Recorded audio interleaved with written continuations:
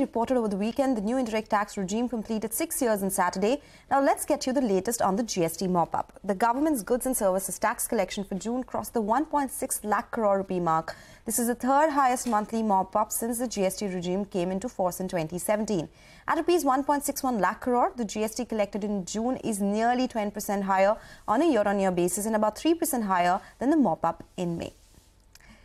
On the sidelines of an event to mark six years of goods and services tax, my colleague Shivani Bazaz caught up with Vivek Johri, who is the chairman of the CBIC, and began by asking him about the next phase of reforms. Listen in to what he had to say. I think it requires some more consultation with the industry. Some of the measures uh, have been discussed internally, and uh, uh, we will take a call in the coming week about whether to place them before the council. But uh, some of the other measures, uh, we are still having consultations with the industry. So we've had one round. Uh, we've shared some of the suggestions with them, and uh, we're awaiting their feedback. So that how's the drive going? Because it's in the last leg now, the two-month drive. What are the kind of? Can you shed some light on the numbers? Uh, the drive is going rather well, and uh, it's a combined thing of the centre and the states. And we had identified. Um, uh, you know, a certain number of uh, taxpayers who had to be verified, uh, 6,000 to begin with, and almost 5,000 out of those have been verified. And we find that about 25% have turned out to be bogus. So I think that's a good hit rate.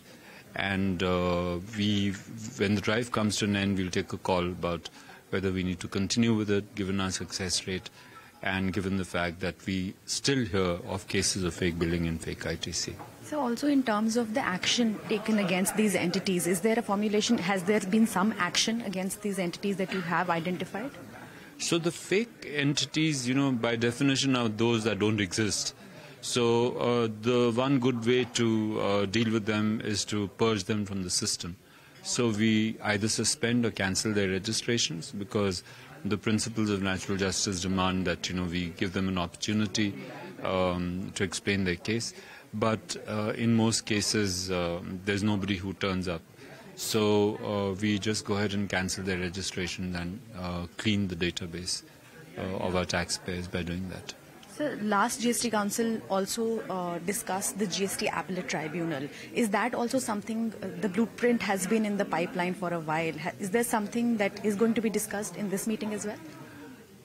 Uh, look, the GST Tribunal um, was discussed at the last council, but uh, the legal changes that it entails were finalized. Um, if you recall, in the Finance Act of 2023, uh, provisions have already been incorporated in the CGST law for putting in place a tribunal. Uh, corresponding amendments have to be made in the SGST laws. Those are currently underway because different states have, uh, you know, different times at which their legislative assemblies meet. So it's only when um, both of us are ready with the uh, base law that we'll go into the, the issue of constituting the tribunal. But sir, is there a timeline, tentative timeline? Likely to happen by um, later this financial year, but I see it happening within the financial year. Okay, it's time for a short break now. When we return, senior NCP leader Ajit Pawar joins hands with the BJP and Shiv Sena government and takes oath as the second deputy chief minister of Maharashtra. More on that when we return.